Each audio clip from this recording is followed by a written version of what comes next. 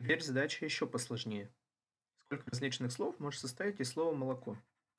Запишем его. И теперь у нас три одинаковых буквы. О1, О2, О3, занумеруем их. Пусть мы получили какое-то слово. Л, О, К, М, О, О. Здесь первое О, здесь второе О, здесь третье О. Можем такое же слово записать. Здесь первое О, здесь третье, здесь второе. Еще одно такое слово запишем. Здесь вторая, здесь первая, здесь третья. Еще можем такое слово записать, переставив буквы О. Здесь вторая, здесь третья, здесь первая. Еще можем. Здесь третья, здесь первая, здесь вторая. И последний вариант, который у нас возможен. Здесь третья, здесь вторая, здесь первая. Все эти слова у нас соответствуют слову L, O, K, M, O, O, когда мы не нумеруем буквы О.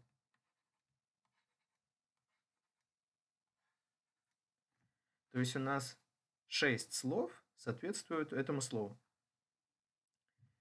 Окей, теперь давайте посчитаем, сколько у нас всего способов.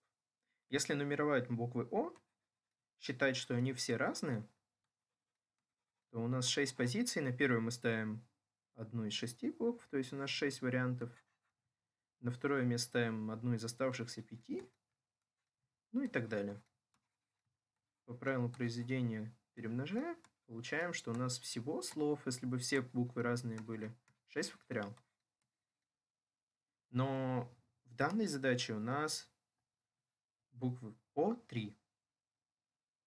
И нужно посчитать, сколько у нас способов расставить буквы О между собой. То есть, какую из букв О мы встречаем первой, какую из букв О второй в слове и в какую третий пробегая слово слева направо, например. Ну, вот тут вот мы, мы например, встречаем сперва О2, потом О1, потом О3. То есть мы их ставим между собой как-то по порядку. Какая встречается первой, какая второй, какая третья. То есть у нас три позиции, так как три буквы. На первую мы выбираем одним из трех способов, на вторую оставший, один из оставшихся двух и последнее на последнее место. То есть у нас три факториал одинаковых слов. То есть 6. Что мы здесь как раз узнали. 6 слов соответствует одному. То есть мы вот это вот одно слово посчитали 6 раз, просто переставляя буквы О в разном порядке в нашем слове. Следовательно, мы должны поделить на 6. Значит, у нас итоговый ответ, вот это число, делить на это, то есть 6 факториал делить на 6. Или что то же самое, 6 факториал делить на 3 факториал. Но 6 факториал это у нас 720, 3 факториал это у нас 6. Получаем ответ 120 слов. И последняя задачка, такая в данном блоке задачка босс. Сколько различных слов может составить из слова математика? Давайте его запишем. У нас здесь очень много повторяющихся букв. У нас здесь две буквы М, занумеруем их. Три буквы А, тоже занумеруем их. Три буквы, две буквы Т. И три оставшихся неповторяющихся буквы Е и К. Давайте сперва посчитаем, что у нас все буквы различные. Вот мы их занумеровали. М1, М2, А1, А2, А3 и Т1, Т2. И посчитаем, сколько у нас всего различных слов. Ну, у нас всего 10 букв. То есть у нас 10 позиций. Ну, такую задачку мы уже много раз решали. На первое место мы выбираем одну из 10 букв, то есть у нас 10 способов. Допустим, эту выбрали на вторую одну из оставшихся 9, на третью одну из оставшихся 8, на четвертую одну из оставшихся 7 и так далее. То есть мы примножаем. Правило произведения мы это все перемножаем. Получаем, что если бы у нас все буквы были различные, то у нас ответ есть факториал.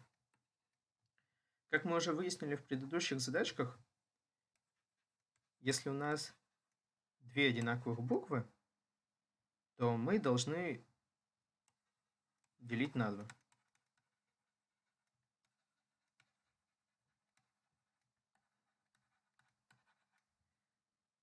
Дальше у нас идут три одинаковых буквы. А1, А2, А3. В прошлых задачках мы выяснили, что должны мы делить на 3 факториал.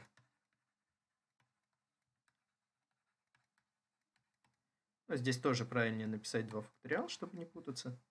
И t1, t2 это мы еще должны делить на 2 факториал.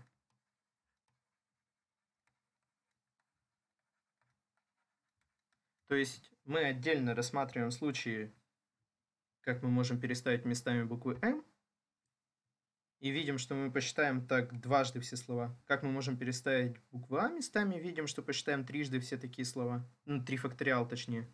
И как мы можем переставить Т1, Т2 между собой, и видим, что мы дважды посчитаем такие слова. Значит, у нас итоговый ответ – это количество всех различных слов 10 факториал делить на количество повторений слов, когда мы переставляем буквы М, то есть на 2 факториал. Также делим на количество повторений, когда переставляем буквы А, то есть еще делим на 3 факториал. И когда мы переставляем между собой буквы Т, то есть делим еще на 2 факториал. Да, в итоге у нас ответ получается 10 факториал, делить на 2 факториал, делить на 3 факториал, делить на 2 факториал.